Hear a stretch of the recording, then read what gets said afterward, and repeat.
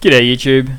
This is just a quick video to show you guys how to remove the Amazon uh, purchasing suggestions and whatnot from Ubuntu, specifically the Unity interface here. So it's a little bit annoying, a little bit uh, just just a little bit bloated really. So what you do need to do to get rid of that is actually uh, type in the following in your menu here, your Unity dash menu, which is to go to the security and privacy section here.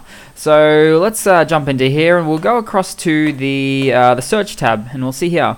Uh, when searching in the dash, include online search results. But really, they're talking about uh, Amazon for the most part. So let's switch that off. And you know what? Since we're in the security and privacy section here, let's go to diagnostics and check out what else we can do. We can send error reports. We can turn them off uh, system information, etc., etc. Most people like to keep those puppies off, so let's just do that.